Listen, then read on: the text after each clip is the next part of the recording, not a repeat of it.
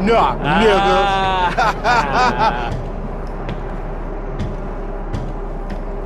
Explain that shit my ass. Hey, Maybe next month, huh?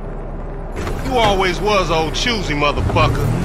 Knock it off, man. For real, after all the motherfucking work I put in, man. What you get us- mean, fuck this employee of the month shit, man? When there's some shit to be won, goddamn it, I want it. I don't give a fuck what it is.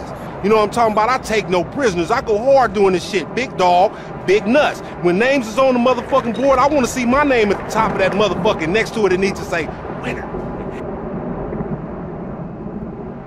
Oh, nigga, don't hate me because I'm beautiful, nigga. Maybe you got rid of that old yee-yee ass haircut you got, you get some bitches on your dick.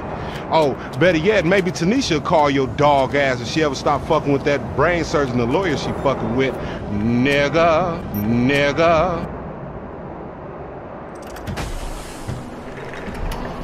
We got work to do, uh, employee of the month. Bring your ass, fool.